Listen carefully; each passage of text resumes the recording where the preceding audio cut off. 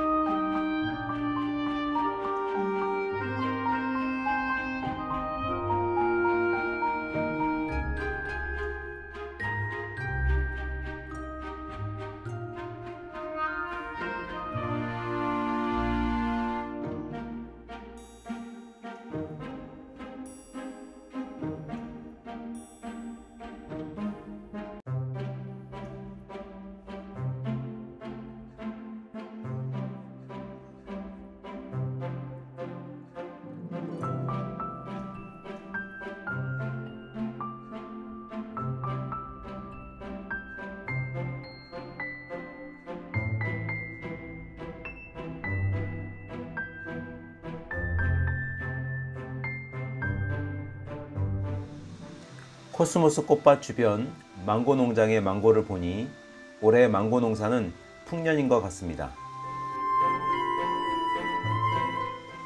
그늘이 없어 햇살도 피할 겸 달달하고 시원한 사탕수수 음료 한잔하며 좀 쉬어야겠습니다.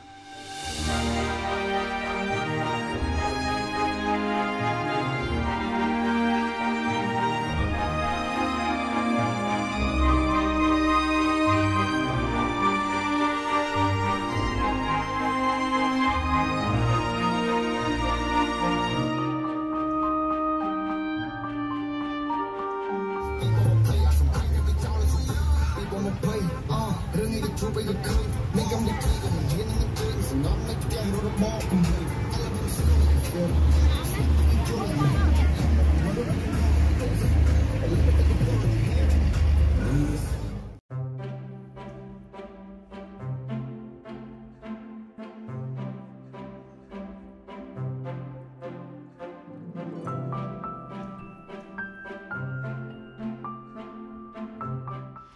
지금까지 시청해 주셔서 감사하고요. 저는 다음 영상으로 찾아뵙겠습니다.